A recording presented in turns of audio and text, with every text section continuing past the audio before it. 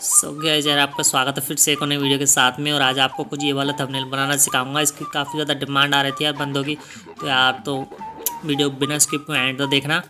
तो यार तो शुरू करते हैं। तो सबसे पहले आपको अपना काइन इम्पोर्ट करना। फिर यहाँ से क्रिएट न्यू पर क्लिक करने के बाद सिक्सटीन डेसी नाइन का एक प्रोजेक्ट क्रिएट कर लेना। है फिर इसमें जाने के बाद आपको ये बैकग्राउंड है ये वाला, इसको ऐड कर लेना। आप जो भी स्काई का बैकग्राउंड यूज़ करेंगे उसको ऐड कर लेना। फिर यहाँ से पेन एंड जूम पर क्लिक करके इसको अपना जो मून है उसको लेफ़्ट साइड में इस कॉर्नर पर रख लेना।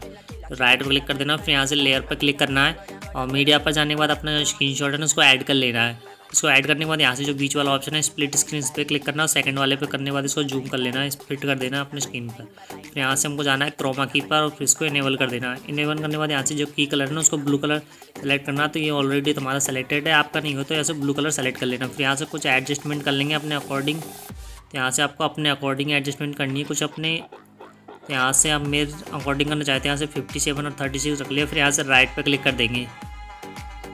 इतना करने के बाद यहाँ से हम इसका कलर भी चेंज कर सकते हैं, इसके लिए इसके एडजस्टमेंट पर जाएँगे और यहाँ से नीचे व्यू पर आने के बाद इसका कोई भी कलर रख सकते हैं अपने अकॉर्डिंग यहाँ से फ़िलहाल तो मैं ब्लू कलर ही रखूँगा और यहाँ से राइट पर क्लिक कर दूँगा।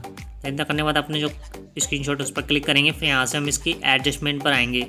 एडजस्टमेंट पर आने के बाद इसकी ब्राइटनेस को यहाँ से हम ट्वेंटी रख लेंगे तो प्लस ट्वेंटी रखना है इसको कॉन्ट्रास्ट को यहाँ से प्लस हंड्रेड कर लेना है सेचुरेशन को भी यहाँ से प्लस हंड्रेड ही कर लेना है। फिर यहाँ से थोड़ा सा नीचे आना है हमको तो यहाँ से थोड़ा सा नीचे आएँगे, फिर इसके हाईलाइट्स पर आना है। हाईलाइट्स को भी यहाँ से इंक्रीज कर लेना है तो हाईलाइट्स को यहाँ से हमको कुछ, यहाँ से हाईलाइट्स को हमको फिफ्टी रख लेना है।